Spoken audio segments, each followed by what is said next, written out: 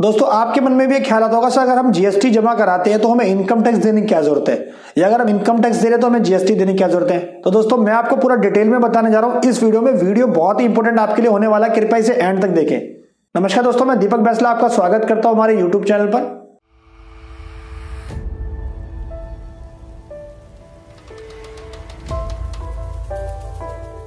दोस्तों जनरली मुझसे इतना क्वेश्चन पूछा जाता है कि सर, जब हम इनकम टैक्स दे रहे हैं तो हम जीएसटी क्यों दें? या अगर हम जीएसटी दे रहे हैं तो हम इनकम टैक्स क्यों दें? तो दोस्तों, मैं आपको यहाँ पे कोशिश कर रहा हूँ दोनों को कोरिलेट करने की। तो आपके लिए वीडियो बहुत ही ज़्यादा इंपॉर्टेंट होने वाला है। वीडियो स्किप नहीं करना है एंड तक देखना है। तो बेसिकली मैं पहले बात करता हूँ दोनों के डिफरेंसेस की। जीएसटी का मतलब क्या और इनकम टैक्स का मतलब क्या है?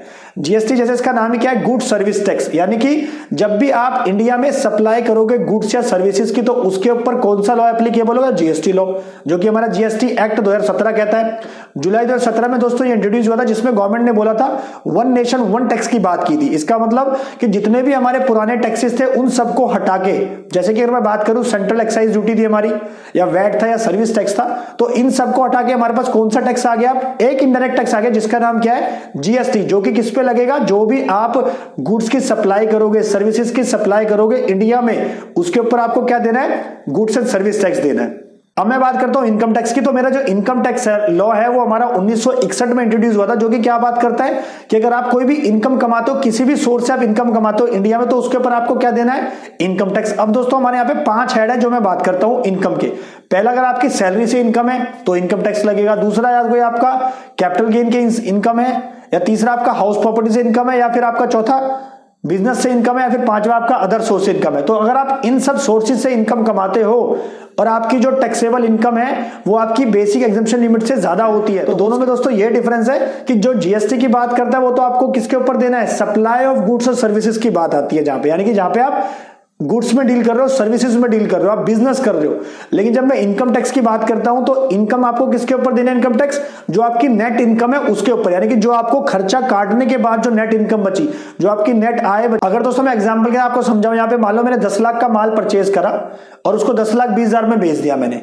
तो दस लाख का मैंने माल परचेज करा, दस लाख बीस हज़ार में बेच दिया तो उसके ऊपर मेरा क्या एप्लीकेबल हो? जीएसटी एप्लीकेबल हो गया। लेकिन उस दस लाख बीस हज़ार का बेच के मुझे नेट इनकम कितनी मुझे मुनाफा कितना हुआ? मुझे प्रॉफिट कितना हुआ। तो उस प्रॉफिट के ऊपर आपको जो नेट प्रॉफिट आपका निकलेगा, उसके ऊपर आपको क्या देना होता है? इनकम टैक्स देना होता है। यानी कि मान लो उसके अंदर आप क्या करोगे? आपके जो खर्चे हैं भाई आपने रेंट भी पे करा, आपने इलेक्ट्रिसिटी पे करी, आपने मशीनरी का खर्चा दिया ऑफ़िस के खर्चे दिए तो जो नेट आपकी इनकम बचेगी, उसके ऊपर आपको इनकम टैक्स देना है। तो दोस्तों जीएसटी के दायरे में तब कब आते हैं, जब हम गुड्स और सर्विसेज़ में डील करते हैं। अगर हम गुड्स और सर्विसेज़ में डील नहीं करते तो हम जीएसटी के दायरे में नहीं आएँगे। अगर मैं यहीं पे बात करता हूँ दूसरी तरफ़ इनकम टैक्स की, अगर आप कोई भी इनकम कमाते हो, इन सब सोर्सेज से तो आप इनकम टैक्स के दायरे में आते हो और अगर आपकी बेसिक एग्जामेशन लिमिट से ज़्यादा है आपकी इनकम तो आपको इनकम टैक्स लगेगा। और दोस्तों, इसके लिए मैंने अलग से एक वीडियो बनाई हुई है, आप इस वीडियो को हमारी रेफर कर सकते हैं। इसका जो लिंक है नीचे डिस्क्रिप्शन में भी डाल दिया इस वीडियो को आप हमारी ज़रूर रेफर करें। आशा करता हूँ दोस्तों वीडियो आपको पसंद नहीं होगी। अगर आपको इस वीडियो से कुछ भी क्वेरी है, कुछ भी सजेशन है तो आप नीचे कमेंट बॉक्स में डाल सकते हैं। अगर आप चैनल पर नए हो तो हमारी वीडियोस को लाइक करें शेयर करें। और दोस्तों, नीचे लाल बटन है चैनल को सब्सक्राइब ज़रूर करना है, ताकि ऐसे इंफॉर्मेटिव वीडियो आपको टाइम टाइम पे मिलते रहे। Thank you.